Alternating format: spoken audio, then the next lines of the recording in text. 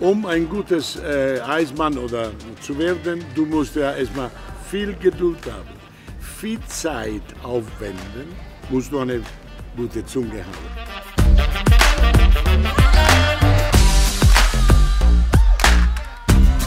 Ich bin Sergio Dondoli, ich bin der italienische Botschafter des Gelato und ich bin auch ein Living National Treasure von dieses wunderschönes Land.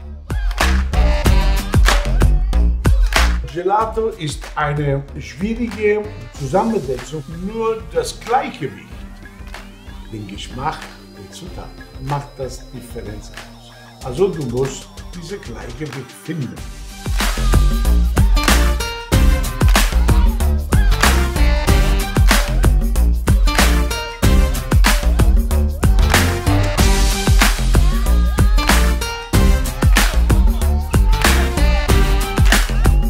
Gutes Eis ist ein gutes Eis, wenn die Zutaten gewählt werden nach Sinn. Ich meine, man sollte die beste Zutat suchen. Das macht das Eis aus.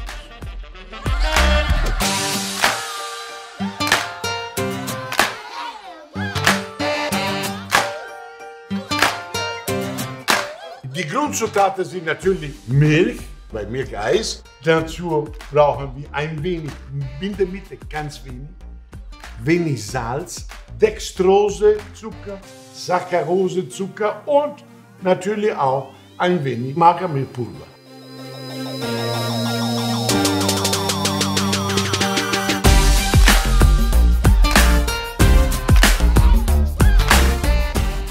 Also diese Eismaschine, es ist ein Musikinstrument. Ein alter Eismann wie ich hört an den Motoren, wenn das Eis bereit ist. Das ist ein Sirup aus Zucker, Bindemittel und Wasser. Ne? Machen wir diesen Sirup und dann tun wir die frische Früchte dazu. Die Farbe ist die aus der Zutat. Ganz einfach. Diese rosa Farbe von der Erdbeere. Ganz einfach.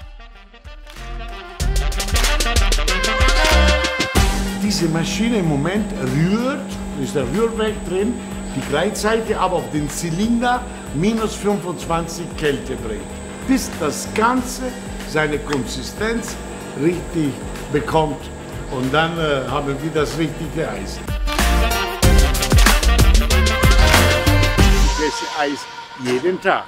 Eis zum Essen ist ein Genuss. Also nicht stressig.